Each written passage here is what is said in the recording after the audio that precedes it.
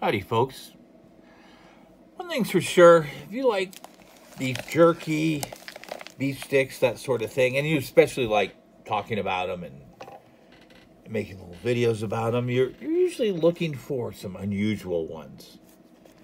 I got this package in the mail. Let's get this open.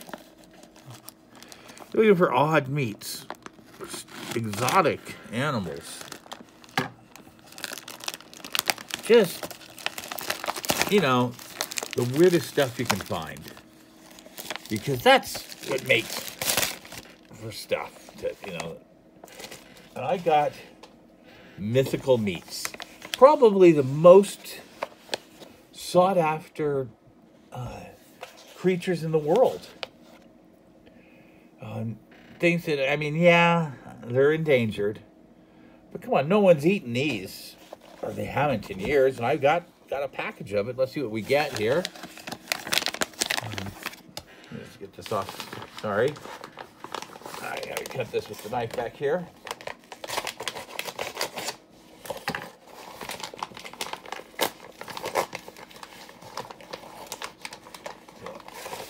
Out.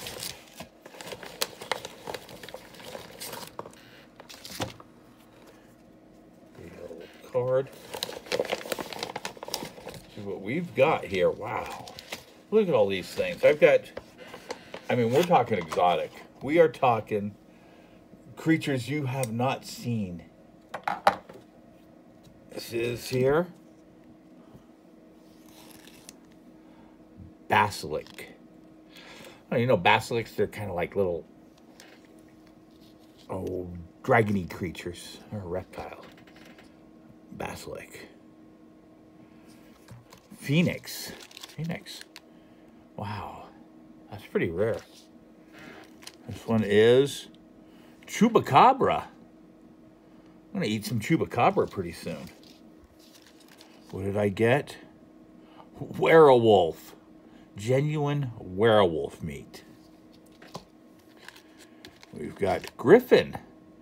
Genuine Griffin meat. I didn't think Griffins have been around for a while, but I guess they found some. Oh my goodness, dragon. This is a dragon. They made this out of dragon. I mean, it says it right on there, so they can't lie, right? Loch Ness Monster. I'm gonna eat some Loch Ness Monster. What is it? Oh, this one's folded. Kraken. It's a big sea creature. There's their card. Pegasus. And finally, Unicorn. What would be a good one to start? Let's start. I have some lovely viewers in England. Let's give their old Nessie a try. Try her out.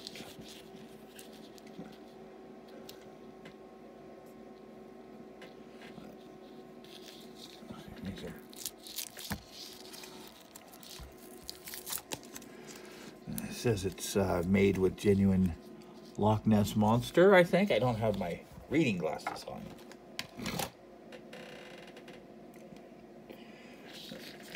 And the main ingredients, Loch Ness Monster. And then uh, they've got some beef and um, mild buffalo just as filler. I don't think that's much of it in there. Most of it's Loch Ness Monster with some beef and mild buffalo. There it is. It does not have a fishy taste.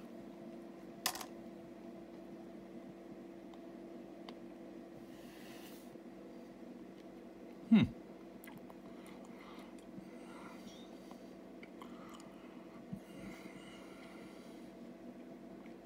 And hey, hey, hey, hey, hey, hey, you don't get any Loch Ness Monster. That's a that's a human food. Where'd you come from?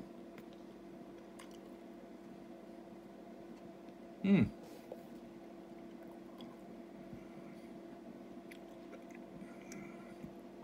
That's good. A little smoky taste to it.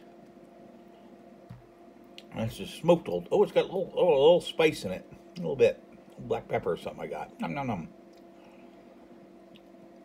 This is weird. Watching the... Now, okay, that's enough of sniffing those, okay?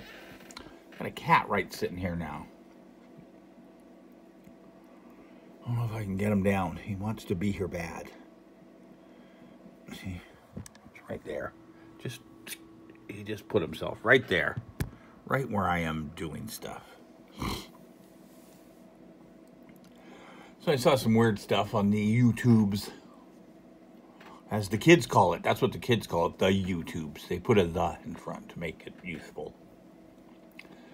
Now I saw, I, I had gone through looking for stuff. Um, I had a really good time in October watching um, Comic Tropes. He did uh, Inktober.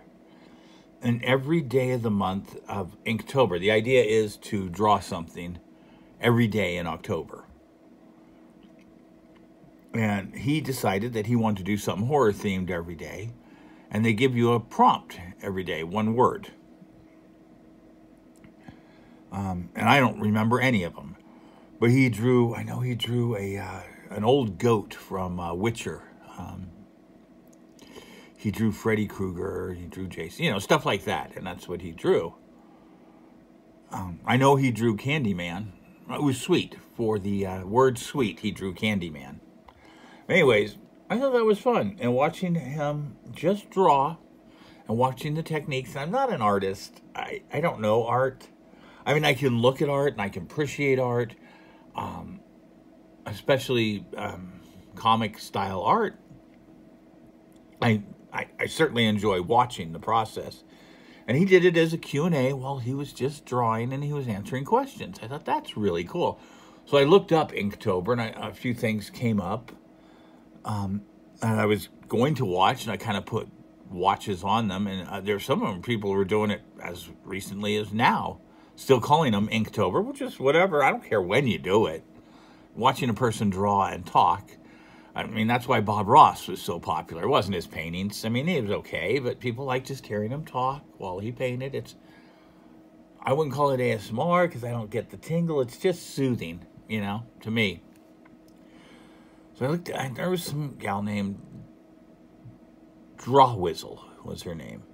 Although her real name's Do Rizzle but she has a channel apparently called Drawwizzle. So I marked off all these Inktober ones as wanting to watch, which then, of course, causes things to pop up in your feed. And with the world being a big coincidence that it is, it pops up that she's part of this whole, whatever her name was from Dr. Phil, Trish something. Uh, Trish, I don't, I don't know, truthfully Trisha. And she um, is in all, all, all this. I don't I'm like, God, how does that happen? How is everybody somehow tied to these things that I decide to look at, you know? Somehow it'll pop up in it. I just what's I watched one half buttedly, asked, half-assedly, and she was now I I don't know who was it was a gal and a guy. I, I, I was able to gather what it was kind of about was kind of a wimpy guy who apparently, you know, she just, the gal was, she was definitely the one with the pants in the family. And, and I realized that's the dude from those Trisha Dr. Phil videos. And as she's talking about this, um, it is. It's it's Trisha's old husband. Trish used to boss him around from what I had seen. Here's what I discovered was this gal was one of Trisha's trolls or haters or whatever the proper term for, you know, people. I call them, I, I prefer troll. If you're going to call me something, I prefer troll, not hater. I don't really hate. I like to cause trouble for George Senda, just bother him, but I don't hate him. I think he deserves uh, to go to jail for things he's done definitely think that, but I don't hate him for grand theft um, credit card fraud. I just think he should have been put away for it. But um, I'm watching this, and you know, the gal was a Trish hater. And there she is with Trisha's husband. And she boned Trisha's husband. Now, that's the ultimate in trolling. My God, to go after someone that you've been tormenting a little bit or whatever and bone their spot. Does that mean if I want to gain my title back as the ultimate troll, I'm going to have to bone Kathy? Oh, no.